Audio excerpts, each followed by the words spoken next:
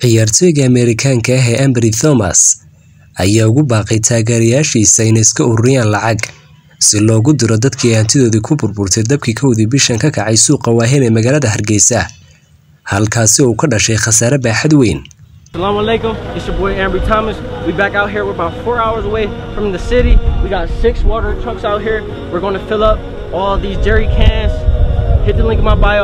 You donate 50, I donate 50. I told you 50 and 50, that's 100, and that's how we doing things. ciyaartooygan ayaa sheegay inuu go'aansaday in inta lagu jiro bisha ramadaan uu dhammaan wakhtigiisa u hurayo inuu ka shaqeeyo howlaha ururinta taakuleynta loo dirayo dadka reer hargeysa ee hantidoodii ku shuf beeshay dabka Come on, you put 50, I put 50. Let's match and change the world.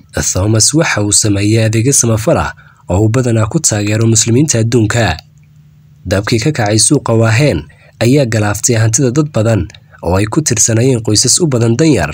Waxaana weli socota taakuleynta loo fidinayo dadkan sababta keentay dabkan iyo weliba qorshaha la raba in dib loogu dayactiro suuqan